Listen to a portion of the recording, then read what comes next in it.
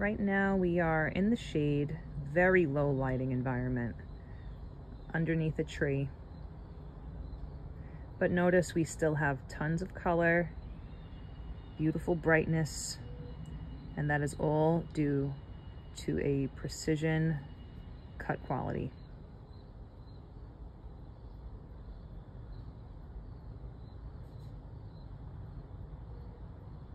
I find this lighting environment very telling in terms of how much darkness and brightness there is within a diamond.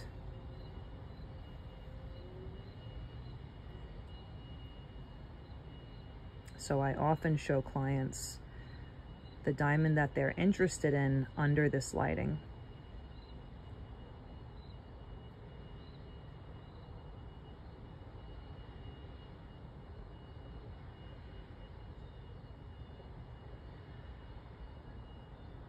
I would say the hearts and arrows reminds me more of a, a starburst pattern where the August vintage has more of a petal-like pattern.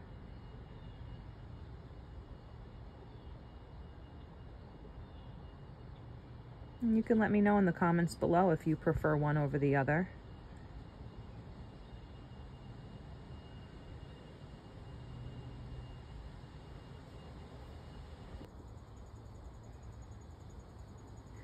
All right, here we are with the sun going down,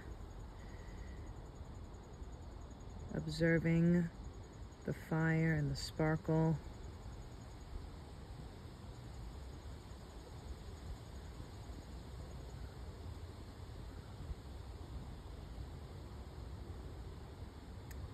Notice how the August Vintage on the left has a much higher crown. So face up, the diameter is going to be a little smaller. Weight for weight. Yes, these are both right around the same carat weight.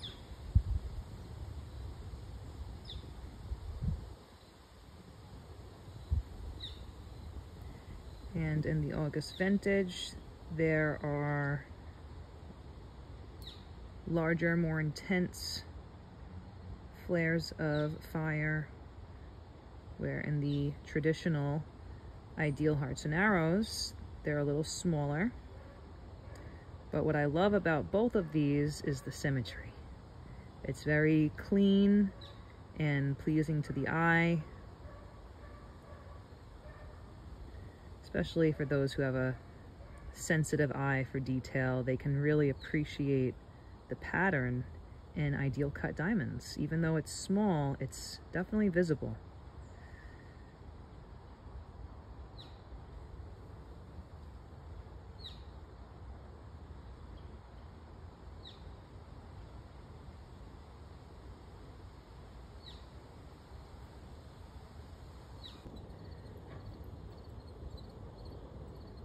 And for our third and final lighting environment,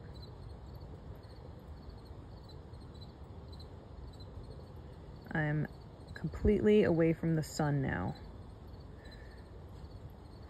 And look at how bright and reflective these diamonds are. That's exactly what we want to see.